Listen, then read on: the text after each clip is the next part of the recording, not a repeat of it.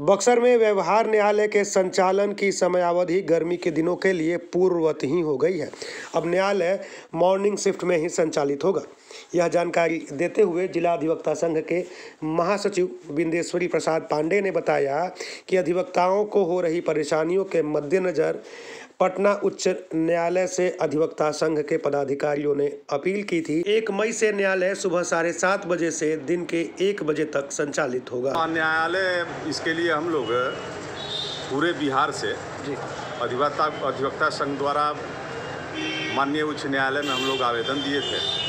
क्योंकि बक्सर जिला जो है हॉट वेव के प्रभाव में था और उसी को देखते हुए आम अधिवक्ताओं के और वादकारियों के सुविधा के लिए गर्मी से राहत के लिए हम लोग आवेदन दिए थे।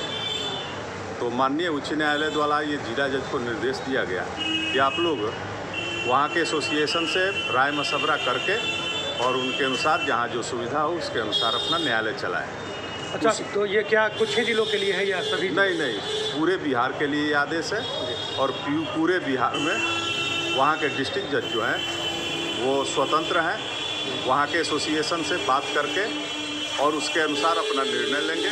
हमारे यहाँ हमारे जिला जज साहब जो हैं, वो प्रातःकालीन सत्र न्यायालय चलाने के लिए एक मई से साढ़े सात बजे सुबह से अपराह्न एक बजे तक का न्यायालय की कार्यावधि रहेगी और इसकी सूचना आदेश माननीय जिला एवं सत्र न्यायाधीश बक्सर द्वारा निर्गत हो चुकी है जो मुझे प्राप्त हुई है। कोई भोजनावकाश भी है इसमें? भोजनावकाश 10 बजे से साढ़े दस बजे तक का रहेगा।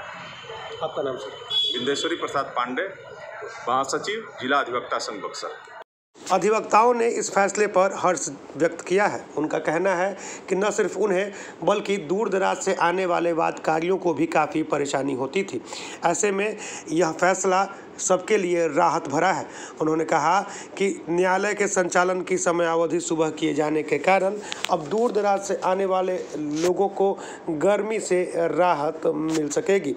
व्यवहार न्यायालय के अधिवक्ताओं ने पटना उच्च न्यायालय के साथ साथ जिला अधिवक्ता संघ के पदाधिकारियों का भी आभार व्यक्त किया है। उनका कहना है कि जिला अधिवक्ता संघ के पदाधिकारियों ने जो प्रयास किया, निश्चित रूप से उसी का प्रतिफल है कि आज न्यायालय मॉर्निंग शिफ्ट में संचालित हो रहा है। उन्होंने कहा कि न्यायालय के मॉर्निंग शिफ्ट में संचालन से काफ़ी सहूलियत होगी और लोगों को गर्मी से भी राहत होगी। यदि ऐसा नहीं होता तो निश्चित रूप से गर्मी के दिनों में लोगों की जान तक जाने की संभावना थी। ऐसे में यह फैसला अधिवक्ताओं तथा वादकारियों के हित के लिए बेहतर है, जो कि चुभती, जलती गर्मी में उन्हें राहत देगा।